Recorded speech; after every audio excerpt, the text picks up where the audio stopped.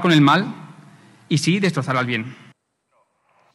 Muy buenas noches y bienvenidos a Con España Vueltas. Lo que acaban de escuchar es parte del discurso de un joven policía llamado Iván, premiado por el Ministerio del Interior el Día de la Policía, el Día de los Ángeles Custodios, donde se hacía la pregunta de por qué se castiga el bien y se premia el mal. Es un resumen perfecto, un momento heroico y también un resumen perfecto de lo que estamos viviendo. Una sociedad que castiga y pone palos en las ruedas a quien trata de hacer el bien, de construir sociedad, de velar por el bien común, y sin embargo premia al delincuente, al que se salta las normas, al que entra por la puerta de atrás. ¿Cómo es posible que esto esté ocurriendo? Y lo dice alguien que tiene como vocación el servicio público, la defensa de la seguridad, el interés general, la seguridad de todos. Un ángel custodio de todos los españoles.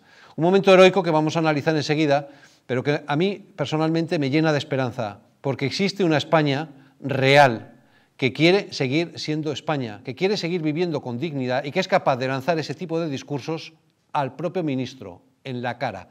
Habían tratado de, de blindar todo el escenario para evitar los abucheos y la crítica dura, sin abucheos, pero crítica, la tuvieron dentro. Y es que lo que está ocurriendo en España es absolutamente tremendo. Tenemos a un presidente absolutamente acorralado. El caso Begoña sigue avanzando judicialmente y atentos a lo que ha ocurrido esta semana. La propia Begoña inaugura un máster porque sigue organizando másters, aunque ya, ¿verdad?, con muy poco éxito de público, y no pierde ocasión para hacer el ridículo.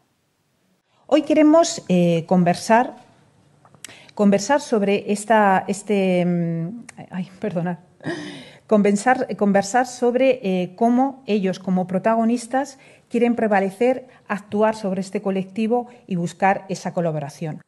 Bueno, pues el caso Begoña es uno de los asuntos que tiene encima de la mesa el presidente, el hermanísimo es otro de los asuntos, porque el tema judicial no descansa, y luego la rebelión interna dentro de Junts. Y es que eh, la amenaza de que se va a romper la legislatura y de que el Partido Socialista no es confiable puede dejarle sin apoyos parlamentarios. Es verdad que el presidente dice que pueda gobernar con o sin el Parlamento, pero hombre, queda un poco feo y eh, ya le han tirado de las orejas diciendo, oiga, eso es absolutamente imposible. Porque es que además necesita el concurso de todos, y todos son todos. Necesita a Junts, a Esquerra, al PNV, a Bildu y a Ábalos. Y Ábalos está un poco díscolo últimamente. Y fíjense cómo reacciona a una pregunta perfectamente legítima. Si Jessica era su novia, ¿por qué le cobraba?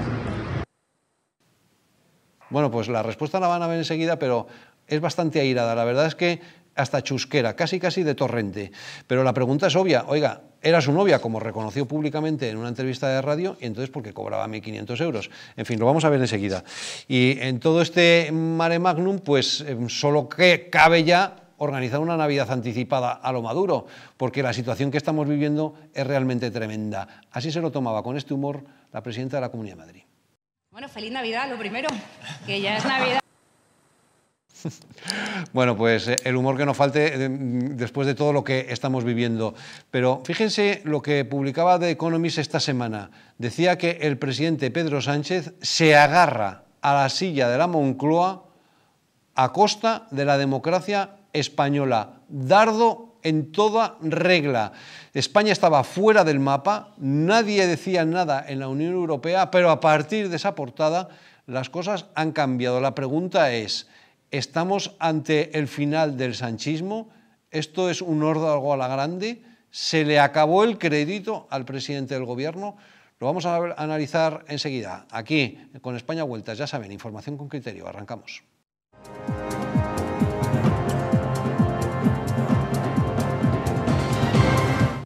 Bueno, pues como ven, temas apasionantes porque lo que está ocurriendo en España y en el mapa internacional es absolutamente apasionante. Lo vamos a analizar con Almudena Negro, eh, alcaldesa de Torrelodones. Almudena, gracias por acompañarnos. Muchas gracias, feliz Navidad a todos. exacto, exacto, feliz Navidad. Feliz Navidad también, Javier. Javier Fernández feliz Navidad, Luis. Feliz Navidad. es director de NEOS, que además este fin de semana ha celebrado un encuentro apasionante con personas de muchísimo prestigio y con muchísimo éxito de público. Pues sí, gracias a Dios seguimos con bastante éxito de público. Se ve que hablar de fundamentos, de principios, de valores, pues interesa, a pesar de que algunos eh, digan que está ya pasado de moda. Pero hemos celebrado un congreso en el Colegio Mayor San Pablo, en colaboración con CEUCEFAS, acerca de la verdad y de la implicación que tiene conocer la verdad, defender la verdad eh, eh, exportar la verdad en los medios de comunicación, en la política, en la historia. Bueno, apasionante y la verdad es que hace falta ese tipo de encuentros para, empezar a refrescar lo básico, ¿no? los, principios, los comienzos. Bueno, eh, esta semana ha sido noticia Irán porque eh, ha habido respuesta, eh, ataque por parte de Irán a las tropas israelíes. Han matado además a grupos de élite. La respuesta por parte del gobierno español ha sido repatriar a algunos españoles que se encontraban en la zona. Almudena, ¿ha sido una buena decisión la de Robles? Pues yo creo que es una buena decisión repatriar a los españoles porque evidentemente Israel lo ha dicho, van a responder a ese ataque que han recibido por parte de Irán.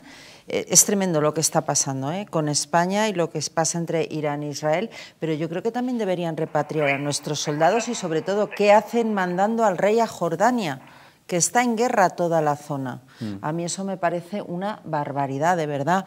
Yo en el tema de Irán-Israel quiero decirlo muy claro, Israel tiene todo el derecho a defenderse. El 7 de octubre los terroristas de Hamas, cofinanciados por Irán, entraron en Israel, invadieron Israel y mataron, secuestraron, violaron y torturaron. La pregunta... Hezbollah tenía pensado tenía planeado otro 7 de octubre. Fue inminente. Justo cuando Hezbollah, 15 minutos antes del ataque Hezbollah, es cuando se producen las famosas, el famoso ataque de Israel. Hmm. Israel ha demostrado que puede desmantelar a estos terroristas, que por cierto, yo que ellos no pondrían ir a lavadora después de lo de los buscas y todas estas cosas, ha demostrado una superioridad militar, tecnológica, brutal. Pero ¿quién está detrás de Hamas y Hezbollah? Irán. Es que es Irán. Es ese Irán que cuelga a los homosexuales, es ese Irán que mata a niñas porque se quitan el velo. Mm. Esos son los enemigos de Israel. Yo desde luego lo tengo claro, Israel es la única democracia en toda la zona.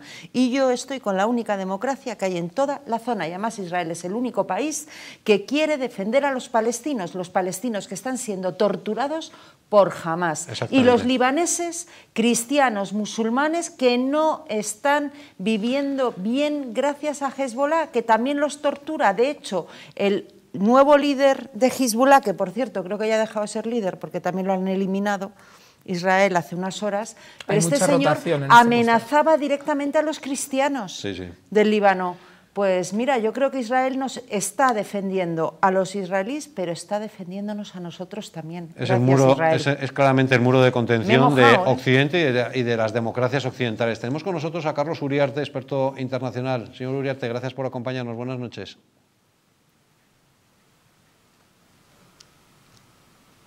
Sí, no sé si nos está escuchando, señor Uriarte, muy buenas noches. Vale, estamos teniendo algún problema con esa, con esa conexión, lo vamos a estoy escuchando. Ah, ok. pues, estoy, pues estoy, escuchando. Sí. pues estoy escuchando. De acuerdo. Eh, hay, eh, Carlos, hay quien dice que, que, estamos en una escalada bélica y que hay que frenar esta, esta escalada. ¿Estamos en ese escenario? ¿Quién es el responsable?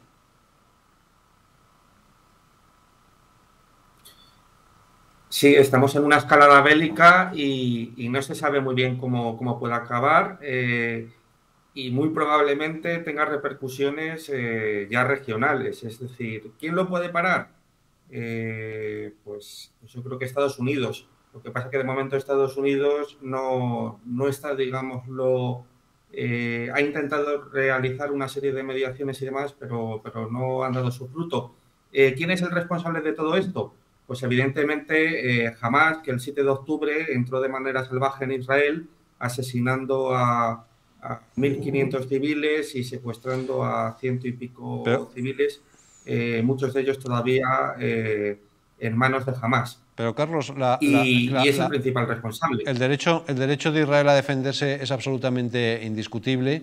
Eh, lo que a algunos nos sorprende es porque la incursión en el Líbano, después de tantísimo tiempo, había pasado prácticamente un año. Eh, sí, bueno, tenemos que analizar todo en un contexto geopolítico. Eh, Hezbollah eh, es una milicia chií que está en el Líbano, que eh, y, desde allí eh, amenaza y ataca a Israel con misiles. Eh, es mucho más, es un movimiento político, es un partido político también, social, pero que tiene incluso una brigada acorazada. y luego también esas milicias chiíes no solamente están en, el Líbano, como en el caso de Hezbollah, sino también hay milicias chiíes en Irak y en Siria. Y también desde estos territorios amenazan también pues la integridad territorial y de Israel. que todas estas milicias chiíes junto con los hutíes de Yemen, que también son eh, una, rama, una rama chií, son prosits eh, de Irán en última instancia. Eh, y claro, este es el gran problema. Si Irán acusa a Israel de ser un Estado sionista, racista, supremacista y demás, cuando es una democracia, la única democracia de Oriente Medio, y considera que Israel no debe de existir como Estado, es muy difícil que con planteamientos así, eh, si además hay estados todavía árabes que no reconocen el Estado de Israel, eh, pues que la solución de los dos estados sea posible.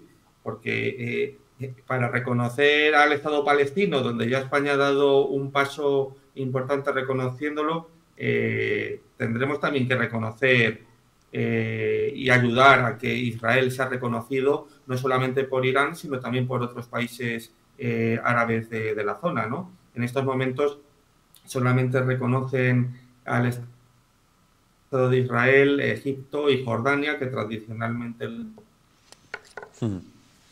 ya lo reconocían, y después de los acuerdos de Abraham, eh, Trump, al final de su mandato, también Marruecos, eh, Sudán, Emiratos Árabes y Bahrein. Hmm.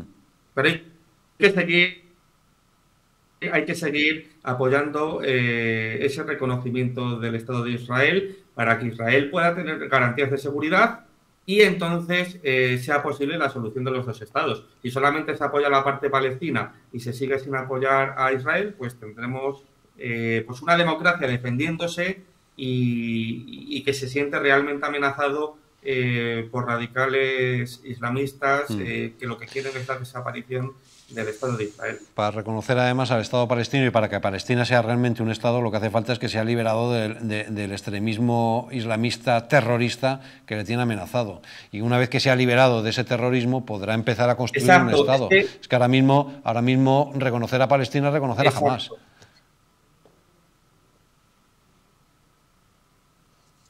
Claro, es que ese es uno de los grandes problemas. Es decir, eh, ahora mismo en, Gaza eh, gobierna Hamas, que eh, son, digamos, los extremistas, no es la autoridad nacional palestina de, la, de Arafat, que está en Cisjordania. Este Hamas es apoyado también por Irán y, luego tenemos que recordar que la propia Organización Nacional de de Palestina no convoca elecciones desde hace 10 años eh, porque, porque dicen todas las encuestas que ganaría también jamás en Cisjordania.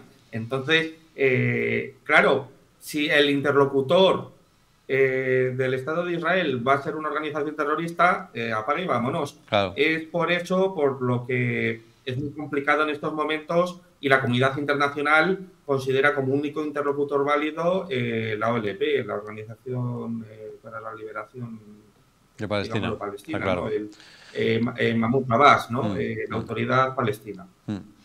Carlos Uriarte, muchísimas gracias. Veremos a ver en, qué, en qué depara todo esto. Un fuerte abrazo, buenas noches. Un fuerte abrazo y buenas noches. Sí, Javier. Sí, yo tres cosas rápidamente, ¿no? porque creo que, se ha explicado bastante bien. En primer lugar, para los que aún dudan moralmente de dónde está el conflicto, aquí tenemos una parte que es Israel, que como bien decía Almudena, la única democracia de Oriente Medio y demás, o de las pocas.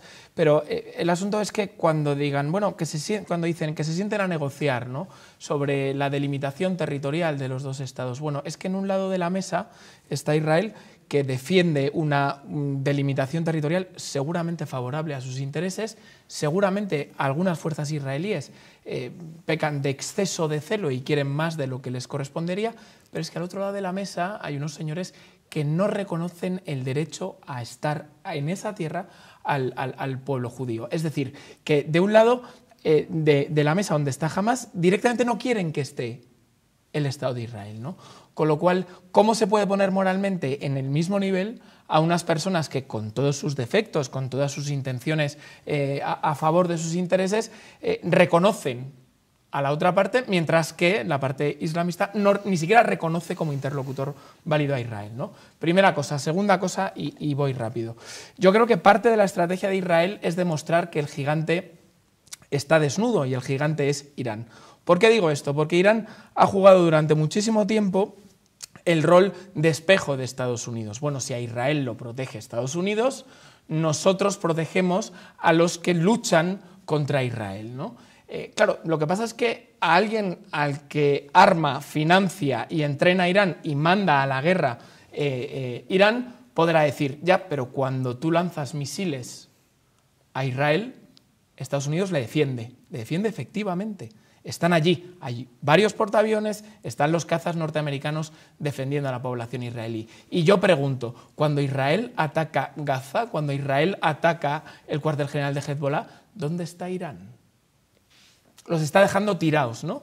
Tercera reflexión. Se habla mucho del Líbano, y ya termino, perdón, Almudena, se habla mucho del Líbano, pero es interesante que la gente conozca por qué el Líbano está como está y es un Estado fallido. ¿no? La guerra civil libanesa se produjo precisamente porque la mayoría de los combatientes de la Organización eh, de Liberación de Palestina entonces, es decir, las guerrillas palestinas, se instalaron en el Líbano, jibarizaron Líbano, armaron a las diferentes confesiones del Líbano. Bueno, eso, eso derivó en una guerra civil terrible y, tremendamente larga, que terminó con un acuerdo de paz donde nos encontramos con el buenismo, y es que todas las facciones se desarmaron menos una. ¿Saben quién es? Los señores de Hezbollah. Con lo cual, una vez más, ¿quién es el culpable de la situación actual de Líbano? Pues los señores que tienen, por lo visto, según la izquierda occidental, la superioridad moral en todo este asunto. Yo lo que resaltaría es que pocos días antes del 7 de octubre del año pasado, Israel había tenido un acercamiento, iba a tener un acercamiento más que notable a Arabia Saudí y Arabia Saudí es el enemigo tradicional de Irán. Irán, en el fondo, todos estos ayatolás son los cobardes y entonces como ellos no van a atacar directamente a Israel, se han dedicado a favorecer a los terroristas de Hamas o a Hezbollah. Esto es terrible. Y quería decir una cosa, a mí me preocupa mucho lo que estoy viendo en Europa, especialmente en España. hay un informe de la ONU del año 19 que ya habla de un repunte brutal del antisemitismo en Europa. Los judíos en el 2019 que vivían en Madrid, en Barcelona, en París, en donde fuera de Europa, ya se estaban planteando emigrar. Todas las sinagogas rodeadas con cordones policiales. Bueno, pues el antisemitismo desde el 7 de octubre se ha disparado.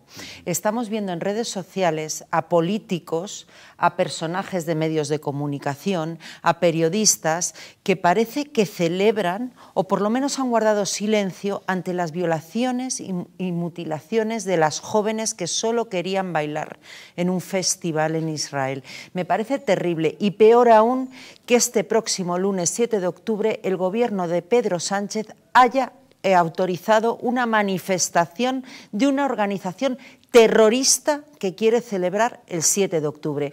Ya le ha felicitado Hamas, le ha felicitado Hezbollah, le han felicitado los hutíes, como hace unas horas los talibanes se quieren sumar también a esto, esperemos a que los talibanes feliciten también a Pedro Sánchez. Qué vergüenza. Pero hombre, Almudena, no, te extrañe porque date cuenta que este gobierno es el que permite los onguietorris, los recibimientos de los etarras, claro, claro. con lo cual, ¿cómo no hacer una manifestación de terroristas que celebran el terrorismo también en Madrid? ¿no? Claro, Al final el gobierno de la gente era traer lo peor que tenemos en España y extender por toda Siempre en el lado equivocado de la historia. Bueno, si me permitís, vamos a abrir página hispanoamericana porque el asunto Venezuela sigue caliente.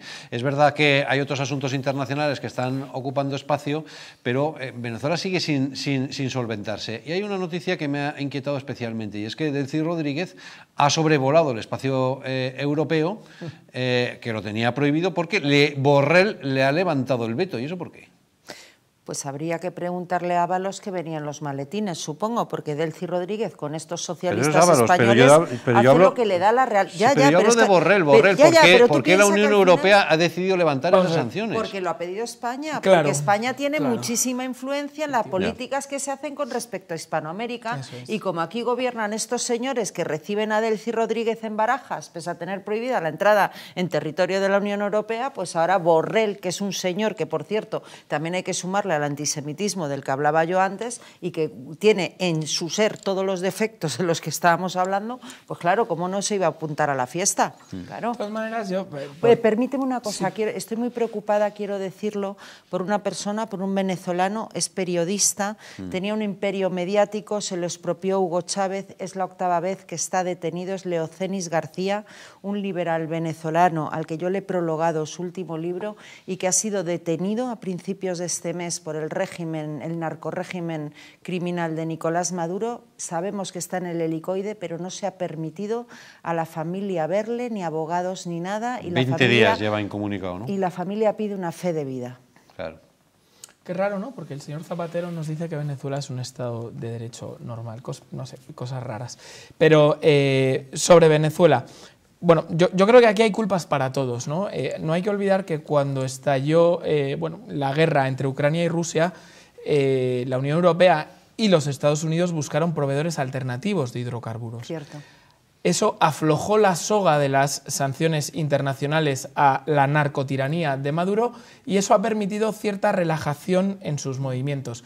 Qué equivocados estábamos, ¿no? Curioso cuando algunos señores quieren llevar al Tribunal Penal Internacional a Israel, sin embargo, a los señores de Maduro o de Nicaragua, por ejemplo, ¿no? donde ya va siendo un delito ir a misa, pues con esos señores nada. ¿no? Con lo cual yo creo que por ahí van los tiros, por ahí van los tiros. Lo digo porque, porque hay para todos, no solo para la Unión Europea. ¿eh? Esta administración Biden tan happy flower, tan tal, pues también había que pedirle cuentas.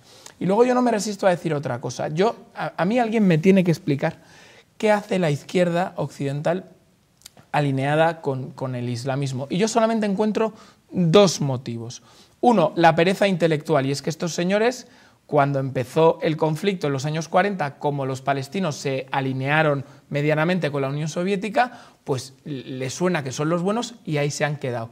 O, o, o, y que odian tanto, odian tanto el orden establecido, el orden liberal, conservador establecido, que nos ha llevado a estas cotas de, bienestar, que prefieren verlo destruido que, que, que, cualquier otra cosa. ¿no? Es decir, prefieren abrirle la puerta a los bárbaros. Pero también hay una izquierda razonable, como la de Boric, por ejemplo, en Chile, que dice, oye, que yo soy de izquierdas, que quiero la justicia social, pero que no quiero saber nada con este régimen, porque este régimen es una dictadura que, que, que aniquila a la oposición, que, impide la, la, libertad de prensa, etcétera, etcétera. ¿no? O sea, que también hay, es posible una izquierda decente, es lo que sí, quiero claro. decir. ¿Sabes pero claro, ¿qué es lo que está ocurriendo en, en, en, la región? Pues que nos hemos encontrado a Petro apoyando, a Lula colocándose de perfil, a López Obrador prácticamente mm. lo mismo, etcétera. ¿no? Pero Luis, es que hay un concierto entre ellos, es decir, es que parece que son nombres no, no, tirados al viento. ¿Dónde está el Foro de Sao Paulo, el grupo de Puebla? Sí, el, grupo, el, Foro de Sao Paulo y el Grupo de Puebla existen, pero no, son un, no, no, tienen unanimidad. De hecho, Lula no sabía muy bien qué posición tomar con el tema de Maduro, luego se le ocurrió decir bueno. que pedir las, la, la, las actas eh, y ahora se ha colocado Actas perfil, que no se han presentado a día no se han de presentado hoy, por cierto. Porque intentaron hacer el fraude y no lo consiguieron. En fin, es una cosa alucinante. Pero hay otra cosa que me ha llamado la atención en relación a Venezuela, como sabéis, Edmundo González está en España, se reunió esta semana con Zapatero y le agradeció la intermediación para venir a España. ¿No ha pinchado el movimiento opositor? Yo no digo nada del síndrome de Estocolmo y con eso ya lo he dicho todo. No voy a remeter contra Edmundo González, que a saber por qué motivos ha hecho lo que ha hecho. Quiero recordar bueno, que parte fácil, de su familia, porque la han amenazado, parte de su pero... familia, hijas y nietas siguen en Venezuela. Sí, sí, pero que está claro que él ha venido porque la han amenazado. De hecho, él mismo sí, sí, lo ha dicho. Pero, hombre, de ahí a, a, a, a darle un abrazo a, que ha cocinado toda la operación, creo que hay un abismo. A ver, estuvimos, eh, Luis, tú y yo, en una conferencia hace poco que Ramón Pérez Maura dijo eh, unas palabras de Otto de Habsburgo, ¿no? que el heroísmo es una condición que solamente se puede exigir a uno mismo. Claro. Mm, todos sabemos las implicaciones familiares y personales que, que puede haber eh, habido en ese exilio, pues mira, es respetable. ¿no? Lo que sí que me interesa más es lo que has tocado respecto a la oposición venezolana, no solamente por de alguna manera eh, dar un, una unas lecciones a la oposición venezolana que desde luego yo no tengo título para hacerlo, sino para aplicarnos el cuento. Eh, es decir, llevamos 25 años de chavismo, llevan 25 años de chavismo, en gran medida por los errores de la oposición. Totalmente. Por minusvalorar a Chávez, por reírle las gracias a Chávez, por no, y por división interna. y por ser tan socialistas como Chávez. Y, por, centrarse en sus cuitas y no exacto en el, por división interna y por una guerra de egos. Entonces el que quiera entender que entienda no eh, eh, yo creo que hay que tener mucho cuidado con de hecho, fijaos que, que, The Economist que hacía esa portada esta semana diciendo que el presidente se amarraba a la Moncloa a pesar, con el coste de la democracia española, añadía en ese informe que gran parte de la responsabilidad de lo que está ocurriendo es la división y la falta de liderazgo en la, en la derecha española. O sea, que, claro, que... el tipo está ahí porque enfrente no hay nadie o porque enfrente hay una división que impide una alternativa eh, a corto plazo. ¿no? Yo estoy muy de acuerdo. Lo que sucedió en Venezuela es que COPE y Acción Democrática, los dos grandes partidos, es decir, PP y PSOE, han desaparecido. Allí desaparecieron por temas de corrupción, se rieron efectivamente de Chávez y Chávez no solo ganó las elecciones en las favelas, es falso ganó también en los barrios pudientes. Y luego, una vez que Chávez había establecido su dictadura, lo que sucedió es que la oposición se llenó de gente con mucho ego, en muchos casos socialdemócratas o socialistas también, es decir, que ofrecían al final la misma receta que el propio dictador y, todos mal avenidos entre ellos. Un poco lo que pasa también en Cuba, ¿no? Mm. Que cuando te das la vuelta te dicen, cuidado, que es que este es un infiltrado del régimen.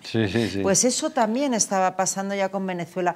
Pero yo creo que ha habido un giro muy interesante, que hay personajes como María Corina Machado, que está ahí desde primera hora. Un liderazgo Eso espectacular. es un liderazgo brutal para la oposición. El propio Leocenis, que lleva enfrentando ya ocho condenas de prisión, Antonio Ledezma. Hay gente que sabemos que sí, que realmente han estado plantando cara y que de verdad, que han conseguido jugando con las reglas de una dictadura, ganar unas elecciones. Eso es impresionante. Y ahora lo que tenemos que hacer es apoyarles todos para que en enero Maduro se vaya a su casa. Sin duda alguna, ¿no? Yo, creo que ahí eh, jugar a la vida de Brian, del Frente Popular de Judea, el Frente de Liberación de Judea, esto no nos trae, no nos trae nada bueno ni en Venezuela ni en España, ¿no? Yo, yo solamente por volver a traer eh, el asunto a España, yo, yo quiero recordar que la suma de los partidos que lideran la oposición en, este país eh, y si quieren incluir a Unión del Pueblo Navarro o algún que otra cosa más, eh, si suman ese número de votos es ostensiblemente mayor de las mayorías absolutas que disfrutó el Partido Popular en el pasado. Es decir, ya no es un problema en España para vencer el sanchismo el número de gente, sino saber jugar con ese número el problema es la ley electoral. Bueno, el o, que no se han puesto de acuerdo. no, no, el problema es la ley electoral y que la política es teoría de juegos. No, no, no. Es decir, yo me muevo, pero los otros también se mueven. y claro, a lo mejor yo como Sánchez me interesa favorecer determinadas opciones para seguir dividiendo por la ley DON. Eso está claro, eso está claro. sí, pero la ley, DON, la, ley, DON puede generar problemas en algunas provincias como Cuenca, Teruel, etc. Las menores. Eh, pero pero eso es un tema realmente menor, creo, comparado con lo que está diciendo Javier, y es que eh, lo que hace falta, porque aunque se unieran, los votos no iban a, salir, porque realmente no todo el mundo es igual. La gente vota lo que le da la gana. Hombre, claro. bueno, pues ya Solo faltaría. no, lo que quiero decir es que si hubiera una, única, si una única marca, si hubiera una única marca, eh, probablemente no sumarían todos los votos de las marcas diferenciadas. Entonces, el problema no está ahí, creo. El problema está en que las cúpulas tienen que tener la capacidad de entenderse, porque las diferencias son muy notables. Pero es que enfrente hay un tipo que está destruyendo la nación, destruyendo las instituciones y, empobreciendo al pueblo. Estoy totalmente Y entonces eso es de una gravedad tal que lo primero es empezar a respirar quitarse al mal de encima y empezar a respirar. Y una vez que empezamos a respirar, ahora nos matamos entre nosotros. Vamos a ver, yo tengo claro que yo entré en política en el año 19 para echar a Sánchez. Ese es mi objetivo, no es otro. Me puedo llevar bien, mal o regular con otros partidos de centro derecha, pero mi objetivo no son ellos, es echar a Sánchez. Yo lo tengo clarísimo pues y así debería ser, pero para, todos, ¿eh? sin cuidado. Duda alguna, sin duda alguna. Para ¿eh? todos, pero yo creo que lamentablemente así es para los menos de nosotros. Mm. Bueno, un par de comentarios rápidos sobre Bolivia. La Fiscalía ya ha acusado a Evo Morales, el expresidente boliviano, de pederastia. Era una información que se rumoreaba desde hace bastante tiempo, pero ahora ya tenemos toda la información y la acusación por parte de la Fiscalía. Evo Morales, que por cierto le montó la semana pasada una manifestación a su sucesor porque no le obedecía suficientemente bien. Bueno, pues eh, ahora resulta que ha aflorado toda, toda su corrupción personal. Menudo papelón. Pero, ¿no? pero además asquerosa, ¿eh? de trata de menores. Le Sí, están sí. acusando. Hay una niña de 15 años, quedó embarazada con 15 años de edad. Mm. Él no inscribió el nacimiento hasta que la niña tuvo 18. La niña lo que ha declarado es que prácticamente la violaba este señor. Es terrible la acusación. Lo que pasa que ahora yo justo he leído en los últimos días que habían intentado retirar esa acusación la fiscalía, que la fiscal se había evaporado. Vamos No, a ver no, qué. creo ¿no? que la información es la inversa, que, que la intentaron retirar, pero O que la han ahora, intentado ahora la han retirar, aflorado, es. ah, eh, creo que fue el jueves o algo Te así. lo digo porque a ver qué pasa, pero bueno, que este se podía juntar con Daniel Ortega, Claro. que es otro similar a él. Sí, sí. Menuda tropa. Que hay una deriva, hay una deriva en la región muy preocupante. Sí, por cierto, Daniel Ortega se peleó con su hermano y su hermano rápidamente enfermó y murió. Dios lo tenga en, en su gloria, ¿no? Qué cosas pasan.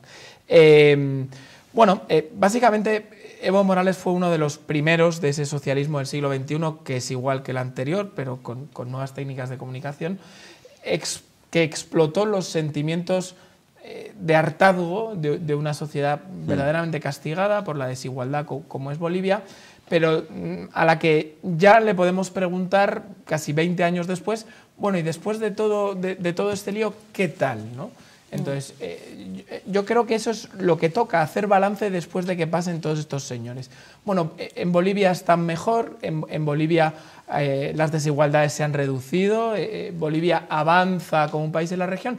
La respuesta es todo lo contrario. No, no solamente es que se trate de una persona eh, que, en, que en su ámbito personal sea abyecta, ¿no? como bien acabas de decir, ni que tenga un ejercicio político verdaderamente autoritario como demuestra con su sucesor. No, no, es que además de todo eso ya me, me pongo súper, súper, eh, eh, bueno, paso de todo, ¿no? Vamos al fondo. ¿Ha servido para algo? ¿Ha servido para algo el socialismo estas décadas de socialismo en Bolivia? La respuesta es no. Claro, el pueblo Con lo cual es no. alucinante cómo estos señores siguen dando charlas por el mundo. Evo no sale de Bolivia por si acaso, Claro. pero interviene en foros dando ejemplo y clases de qué.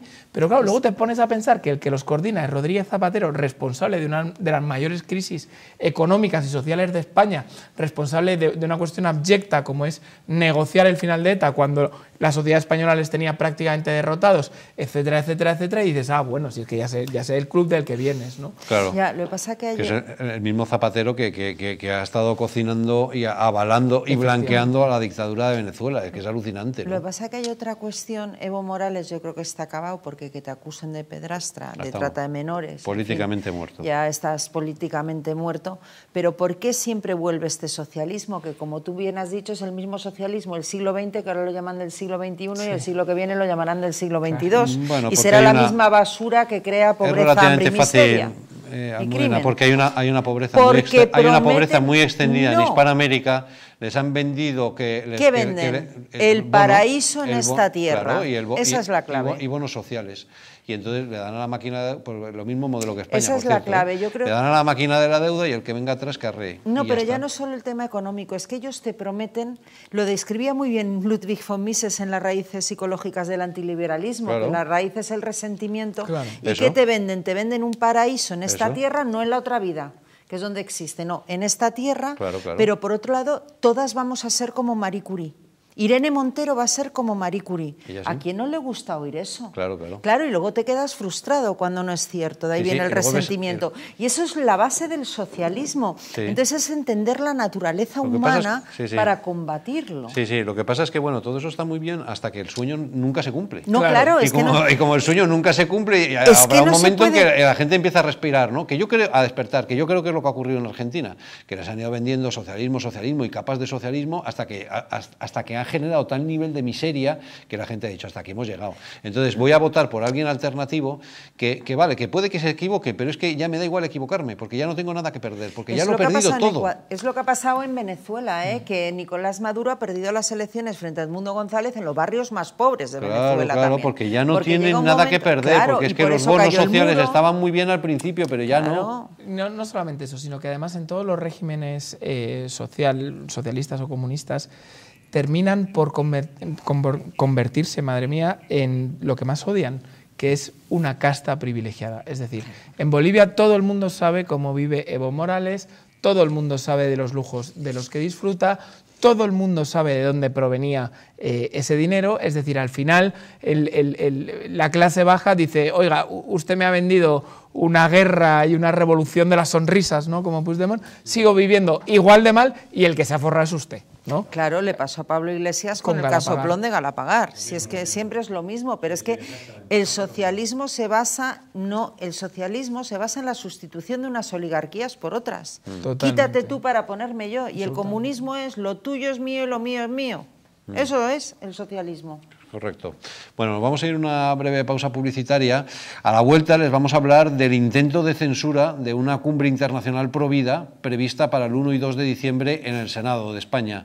Se lo vamos a contar enseguida y vamos a hablar también con la persona que está organizando esa cumbre y de todo lo que ha pasado en, eh, en ese trasfondo. Pero antes Déjenme darles un consejo eh, si están pensando en que necesitan adelgazar así con carácter de urgencia, han vuelto el verano, han cogido unos kirillos de más y necesitan ese adelgazamiento prácticamente express. Bueno, pues eh, el Pack Express eh, puede ser la herramienta que les ayude a tomar esa decisión, perder esos kirillos de más, volver a utilizar esas prendas que tanto te gustaban. Bueno, Naturhaus te trae una forma más rápida y eficaz de hacerlo. En tan solo dos días podrás bajar de peso gracias al Pack Express.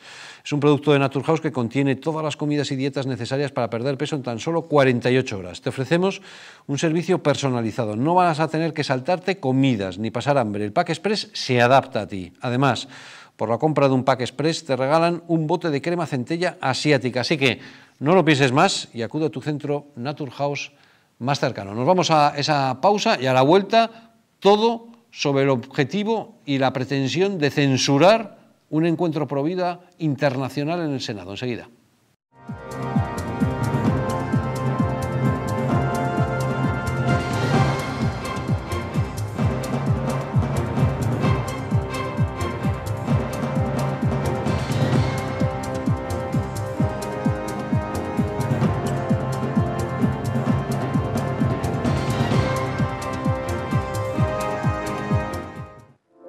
Las Dunas, un lugar mágico en el corazón de la Costa del Sol. En primera línea de mar, situado en un oasis de armonía, tranquilidad, enfocado en la salud y bienestar de nuestros huéspedes. Desconecta del estrés y la monotonía del día a día. Estancias con programas exclusivos y personalizados de salud, rejuvenecimiento y control del peso elegancia y bienestar junto al mar sin renunciar a la actividad y la vida saludable. Descubre las Dunas Hotel Health and Spa, el más exclusivo de toda la Costa del Sol.